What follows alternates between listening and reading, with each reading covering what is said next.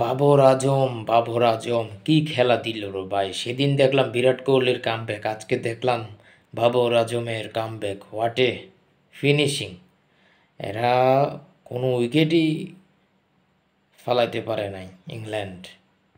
England প্রথম ম্যাচে যে খেলাটা দিয়েছে সেকেন্ড ম্যাচে একেবারে উল্টো। রিজওয়ান প্রথম দিকে খুব সম্ভবত উনত্রিশ বলে আটচল্লিশ, পঞ্চাশ রান তিরিশ বলে পঞ্চাশ রান করেছে। সেখানে একত্রিশ বলে আটত্রিশ রান ছিল।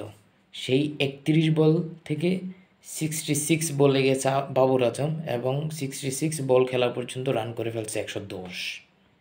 আর বিরাট কোহলি একশো বাইশ রান করে ফেলেছে। এখন আমার মাথায় একটা প্রশ্ন আসছে, সেটা হচ্ছে যে বিরাট কোহলি কামব্যাক করল বাবর আজম কামব্যাক করল, আমাদের নাজমুল হোসেন শান্ত কামব্যাক করবে তো নাকি?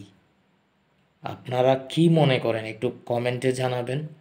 এদের সামনে দুবাই, দুবাইতে টি টোয়েন্টি ম্যাচ খেলবে টি টোয়েন্টি সিরিজ আছে, এখানে শান্ত যদি ওপেনিংয়ে নামে, আপনাদের কাছে কি মনে হয়? কত বলে সেঞ্চুরি করবে? আমার কাছে মনে হয় শান্ত খুব দ্রুতই কামব্যাক করবে। আপনারা দেখেছেন ইতিমধ্যে যে ফেসবুক একটা ভিডিও ভাইরাল ব্যাটে বল লাগছে না প্র্যাকটিস ম্যাচে প্র্যাকটিসে সেখানে হচ্ছে যে স্টাম্প ভেঙে ফেলতেছেন। মানে মনে প্রাণে যাচ্ছেন শান্ত নিজেও যে কামব্যাক করার জন্য। সো আমার কাছে মনে হয় দুবাইয়ের সাথে কামব্যাক হবে। তারপর ট্রাই নেশনে আর সেঞ্চুরি একটা হবে। তারপর হচ্ছে টি টোয়েন্টি বিশ্বকাপে ধামাকা খেলবে আমাদের শান্ত। যেহেতু কামব্যাক করেছে বিরাট কোহলি কামব্যাক করেছে মাঝে ছয় সাতটা ম্যাচ টানা বাজি খেলছে। বিশেষ করে এশিয়া কাপে বাবর আজম। সেই বাবর আজম কিন্তু কামব্যাক করে ফেলেছে। সো আমাদের এখন বাকি হচ্ছে আমাদের শান্ত। আপনারা কী ভাবছেন? একটু কমেন্টে জানাবেন। Thank you so much for watching this video